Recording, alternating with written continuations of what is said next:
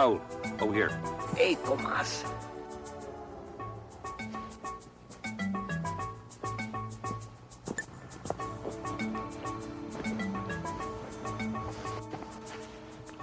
How you doing, Raul?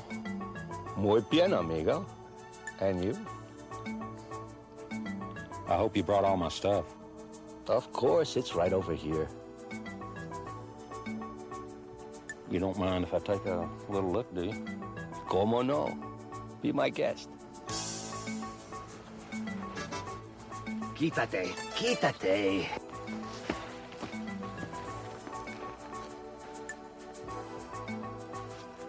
Hey, where are you gonna hide that stuff, Tomas? You know, it's very dangerous around here. That's my problem, Raul. And I'll handle it. Well, I guess it's all there. Your money. Yeah. Gracias, senor. Gracias.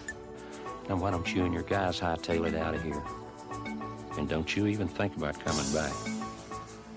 Because if you do, you might get hurt. Okay, Tomas. Okay. But you want more stuff, you call me, okay? We bring it right to you. Yeah, I'll sure do that. Hasta luego, amigo. Vámonos.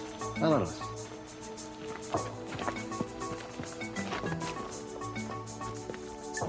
Hasta luego, Raul.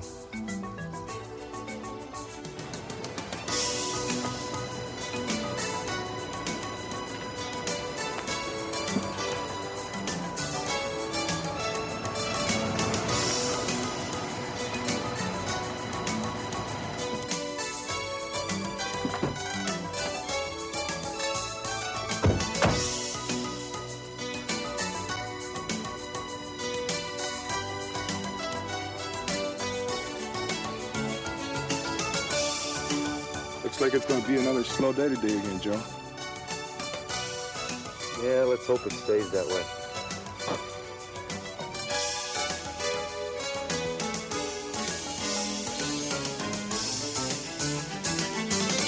Hey, Joe, look at all the bundles I found over here. Hey, be careful. No telling what's in those things. Yeah, I think I found the load. Watch out. That thing might be booby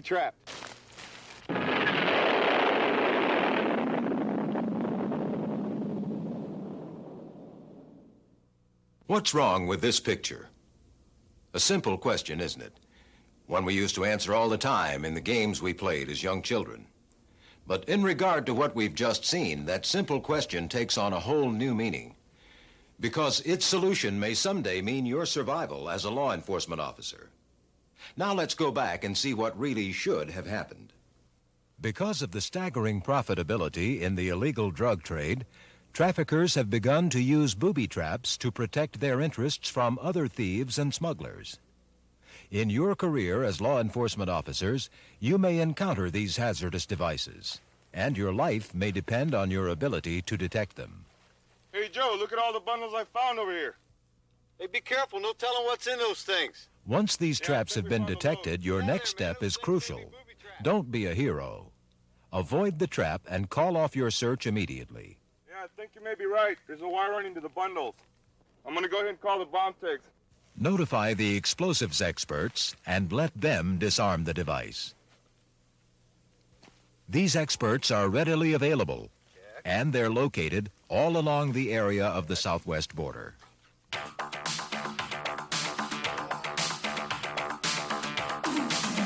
Operation Alliance. The name indicates a cooperative program, and that is exactly what it is. Operation Alliance is a multi-agency law enforcement program located within the four-state area of California, Arizona, New Mexico, and Texas, which utilizes the combined resources of federal, state, and local law enforcement agencies to stop the flow of illicit drugs and other contraband across the Mexican-American border. It is the most widespread interdiction program in law enforcement history, covering the entire 2,000-mile land border between the United States and Mexico, as well as adjacent waters in the Gulf of Mexico and the Pacific Ocean.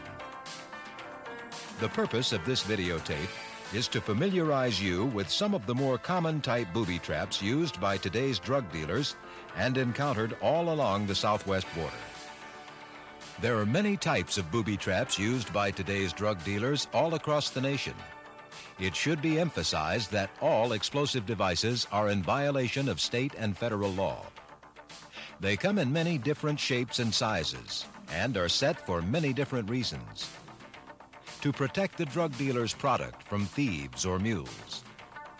The destruction of evidence in a drug bust, for instance. Reprisals against competition within a drug ring or against another ring. Early warning devices against law enforcement drug busts. And terrorism or diversionary tactics. As you can see, specific booby traps have been designed for specific reasons. But all booby traps share one major purpose of design to stop anyone from interfering with the drug dealer's trade. Mostly, these traps are set to deter other drug dealers or thieves. But as you have just seen, law enforcement officers run just as big a risk of encountering them. Which brings us to the purpose of this videotape. To make sure that you understand that the possibility is very high that you will encounter booby traps sometime in your career. Also to ensure that you remain on the lookout for these booby traps at all times. And to emphasize that once you find one, there is only one correct action. Call the experts. The first thing to learn then is what to look for. Usually there are telltale signs in and around an area where a booby trap has been set. During your investigations, keep your eyes open for things that look unnatural. Look for items out of place. This may signify that they've been moved to accommodate a hazardous device. You should also be watchful for peculiar alterations to otherwise commonplace items. This is often a sign that a trap has been set. Unexplained electrical devices or equipment in and around the area of your search should arouse your suspicions. So should an odd package in a load, as in this example, where only one bundle out of the many was wrapped in duct tape. Documents, books, or magazines with explosives and other hazardous devices as a subject matter is another telltale sign that booby traps may be near. Early warning devices like this one are actually manufactured products and are readily available through mail order houses in some states. Also, during any search where a suspect is present, note that suspect's behavior. If he seems unduly nervous or excitable, it may be an indication that he knows something is not right. And of course, any items or devices that you do not recognize or understand could very easily be a trap. In each of these cases, although the temptation may be strong to continue your investigation, remember that there is only one proper next step, and that is for you to call for a hazardous device team to investigate further. And remember, that simple decision, no matter how trivial it may seem at the time, may save your life. To give you a better idea of the types of booby traps used by drug dealers, how and where they're used, and how to search for them, let's take a look at a few dramatized scenarios. In the first scene, Coast Guard and U.S. Customs officers operating in the waters off Galveston, Texas, have stopped a small craft for a routine inspection. Although there is no evidence of drugs, what looks like a scuttle charge has been detected in the center of the hold. Scuttle charges are explosive devices designed to blow a hole in the hull of a boat large enough to sink it very quickly. If the owner of this craft had been carrying any drugs or illegal contraband, he could have triggered the device, scuttled his craft, and destroyed the evidence before he was intercepted. Upon closer scrutiny, it is confirmed that there is definitely a hazardous device on board. Following proper procedure, he moves topside to contact an explosives expert to disarm the device. Our second scenario involves a routine patrol by two Border Patrol officers along the Arizona-Mexico border. While driving down a remote road, they encounter a tree lying across their path.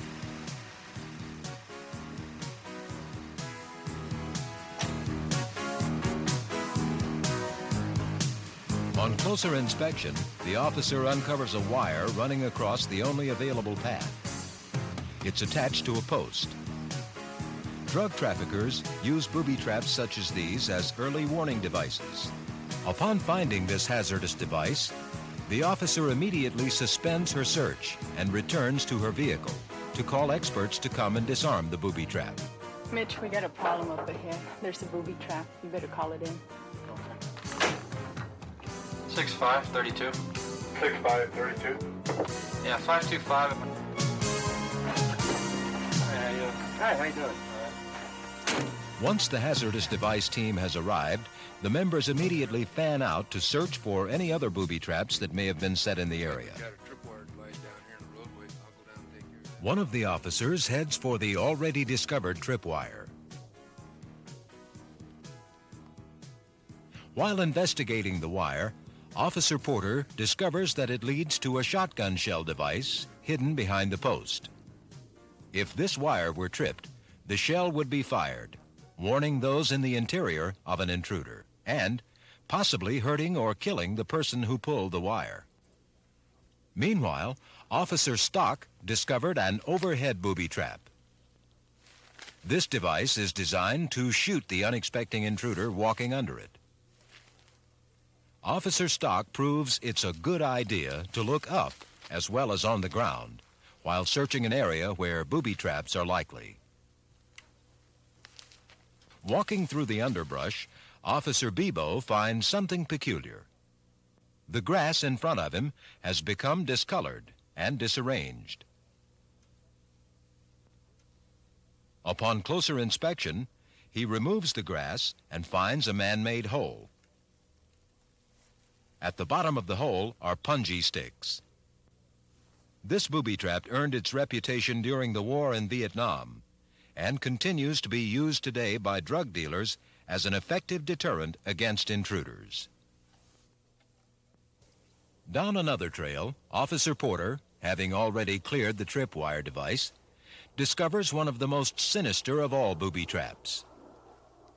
Designed as another deterrent against intruders, this booby trap operates like the carnivorous plant it was named after, the Venus flytrap.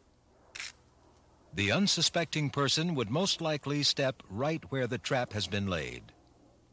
The weight of his foot brings the center of the trap down, which in turn sends the jaws up in a hinging fashion.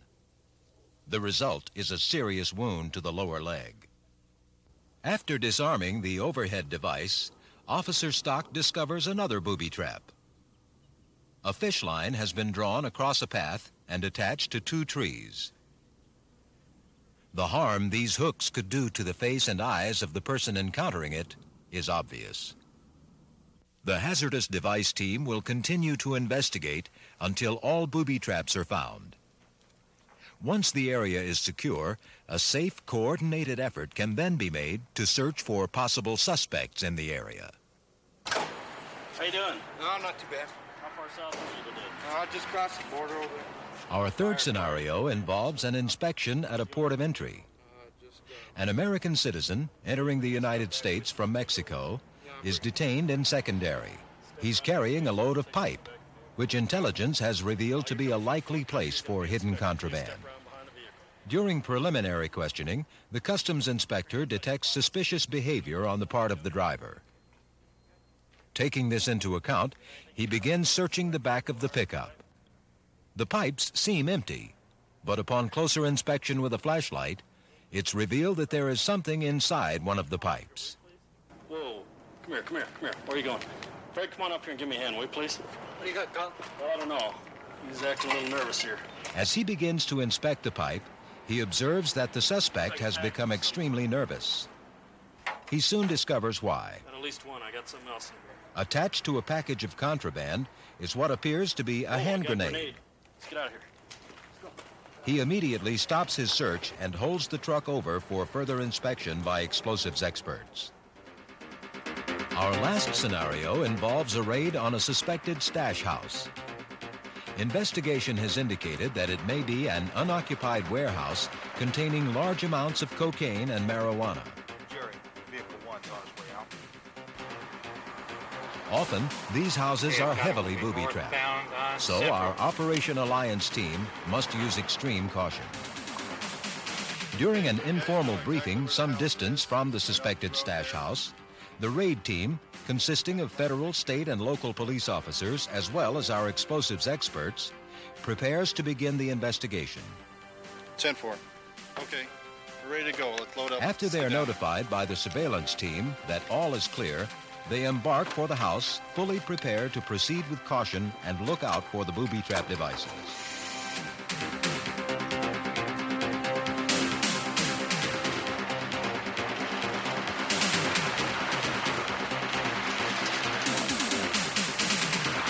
Once at the location, our team members break off individually, and each begins to investigate a part of the building. Customs Agent Fergus and Deputy Sheriff Duffy inspect the rear of the house. Fred, there's a wire here in the fence.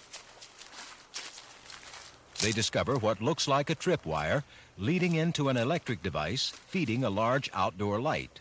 It's a tripwire and it goes right up over your head. This may be an early warning system used by those inside to alert them to intruders. ATF agent Salaya is inspecting the east side of the house. Looking through the window, he discovers some mercenary soldier publications on the kitchen table, as well as some electrical devices and tools. It looks as if someone has been building electrical booby traps. In addition, he sees chemicals in and around the kitchen sink. On the opposite end of the house, Detective Caduce of the Tucson Police Department and Deputy U.S. Marshal Hardiman are making their way to the living room window.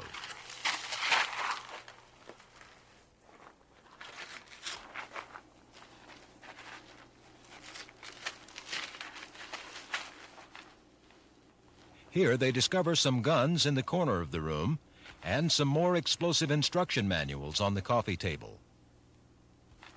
They also find an object attached to the knob of the front door. This could easily contain an explosive device. Illicit drug manufacturers have been known to permanently booby trap the front door and use the side or back door themselves. Deputy Hardiman hastily radios a warning to Deputy Sheriff Toohey, who has been searching the front of the house. She heeds Hardiman's warning, but she did not need the call to be suspicious herself. She had already noticed a tripwire leading across the entrance to the front porch. Attached to it was a tin can containing a grenade. In addition, DEA agent Hewling discovers a cardboard box located at another entrance with a wire running out of it and hidden under the welcome mat. The box could very easily be hiding another explosive device connected to a pressure plate release mechanism under the mat. As you have seen in the four different scenarios presented to you, booby traps are dangerous devices which can kill or maim. As law enforcement officers, it's important that you understand that doing your job doesn't mean that you have to be a hero. If you detect or even suspect the presence of a booby trap during any of your investigations, remember the proper procedure is to stop and withdraw from the investigation immediately. Then notify the proper authorities to come and remove the device and search for others you may have missed. These specialized technicians have the skill, training, and equipment to handle almost any situation. Taking these sensible and responsible steps is not only good police procedure, it may save your life.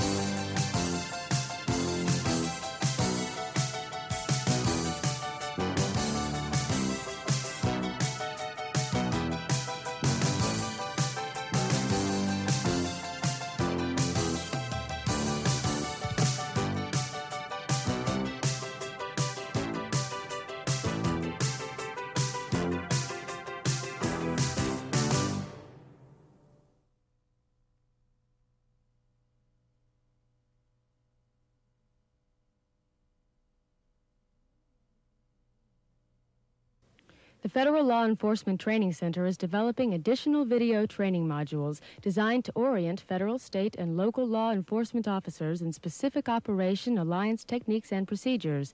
To join, become involved, ask questions, or request additional information, please write or call Operation Alliance, P.O. Box 370637, El Paso, Texas 79937. Commercial 915 541 7523, FTS 572 7523.